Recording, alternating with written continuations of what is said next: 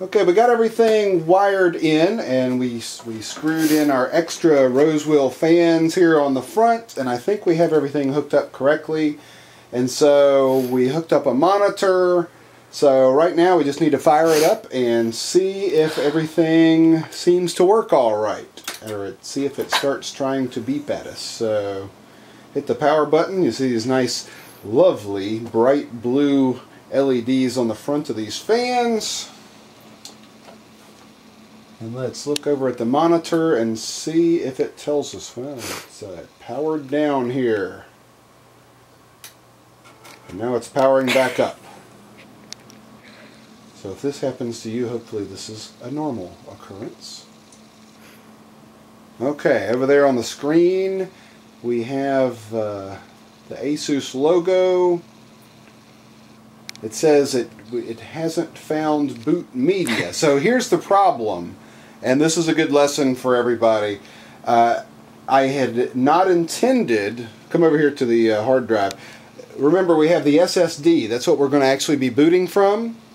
Um, I also hooked in this 2 terabyte drive that I have some information stored on, and it's confused as to what it's supposed to be booting from. And there's nothing it can boot from so far. So what I'm going to do is power this down. I'm going to unplug this backup drive, this 2 terabyte drive that I'm going to use for storage, and I'm going to put the Windows 8 DVD in the DVD drive, and then it will have something to boot from. And in this Windows 8 kit, you have two different choices, 32-bit or 64-bit Windows 8 of course you want the Windows 64-bit unless you have a really good reason to choose the 32. So it's still telling me that there, it doesn't have anything to boot from. So I put in boot media, the Windows 8 media, into the DVD drive. Now let me hit a key and see if it starts to recognize it.